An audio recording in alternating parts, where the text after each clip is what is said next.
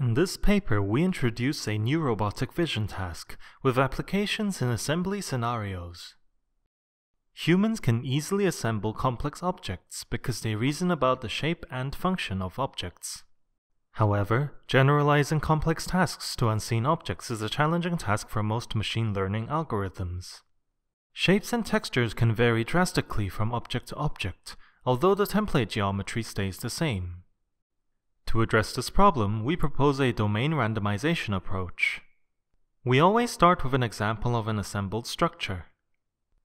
By removing the manipulation object, we attain an example target object, from which a 3D model is created. The template geometry is extracted from the model by removing parts that were not in contact with the manipulation object.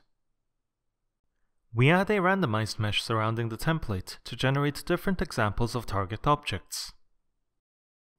Finally, we randomize the texture of each object.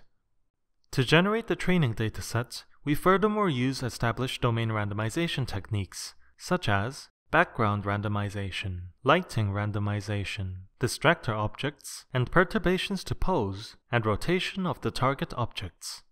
To evaluate our approach, we captured a dataset with real objects.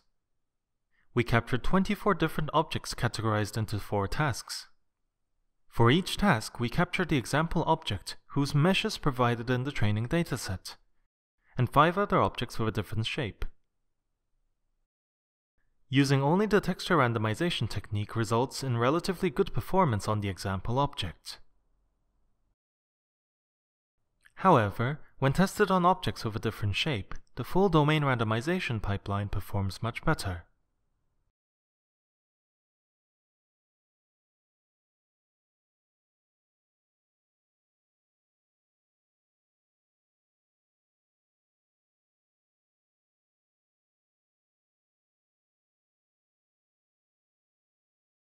As a proof of concept, we implemented our approach on a real-world robot. The system can accurately position the object in the case of a single wooden block. In the harder case where multiple wooden blocks compose a more challenging surrounding geometry,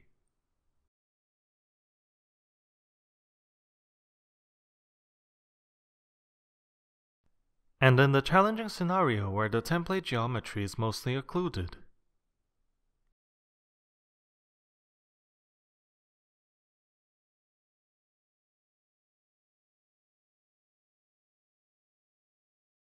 Thank you for watching.